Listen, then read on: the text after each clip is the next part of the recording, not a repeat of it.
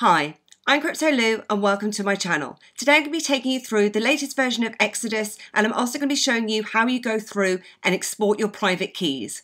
And I hope you enjoyed this video today and if you do then please give me a thumbs up as it really helps me to grow my channel and understand what kind of content you enjoy. So for those of you who are familiar with my channel, you will know that one of my favorite wallets is the Exodus wallet and they've just released a new version of their software which I'm going to take you through now. So I have already done a full tutorial and review of Exodus and what I'll do is I'll put it in the top right hand corner now so that those of you who haven't watched that before then please feel free to do so.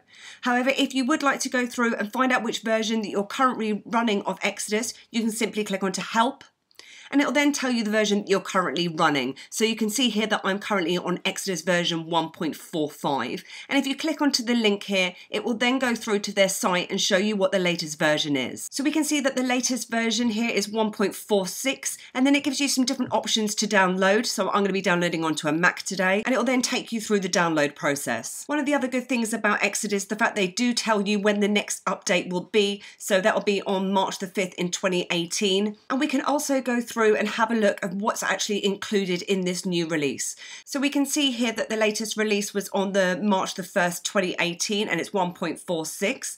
We can also see what they've actually included. And they've got new supported Ethereum assets, which now include the likes of Storm, Raiden, QuantStamp, Monaco. And you can now see that I am now running the latest version. So let's go through and take a look at some of those new features. So if we go to Wallet, and go to add more and then scroll down, you can now see you now have this Ethereum asset section. So if we click onto the right hand side, you can see you've got absolutely loads of ERC20 based tokens. So you have the likes of Icon, you also have things like QuantStamp, you have Tron. So if I now go back to my wallet, you can now see that I have those ERC20 supported tokens or those Ethereum based tokens that are now appearing in my wallet. Now the one thing to be aware of in terms of these ERC20 tokens is the fact that you can't actually go through and exchange these as they're not available in that exchange list. So I think it's pretty good the fact that you now do have those ERC20 supported tokens. It just means that you have so much more options in terms of storing your crypto within the Exodus wallet.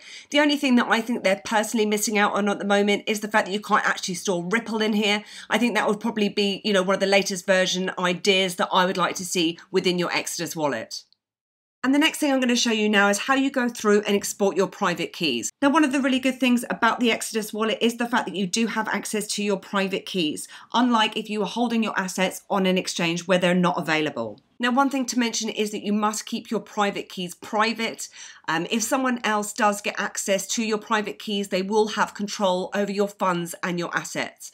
And a reason why you might want to go through and export your private keys is if, for example, you are trying to claim a coin as a result of a fork, you may need to import your private keys at this stage. So first up in your Exodus wallet, if you go to the top right hand corner and click onto Exodus, then go to Developer, then go to Assets, and then you have all your different type of assets or cryptocurrencies that you have set up within this wallet. So if, for example, you need to export your private keys for Bitcoin, you can go to Bitcoin and then go to export private keys.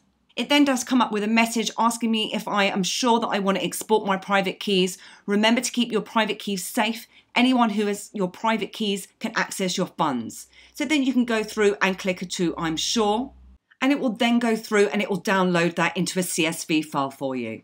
And if you've then installed that onto your desktop, it will then appear as a CSV file. So if you just double click to open that, and then it will then be presented with the address, so that'll be your public address. It will also show you your balance and it will show you the corresponding private key. And you then need to ensure that you do save that somewhere safe. Maybe keep it offline, keep it on your USB, or keep it hidden away somewhere. And you can then import it to its required destination.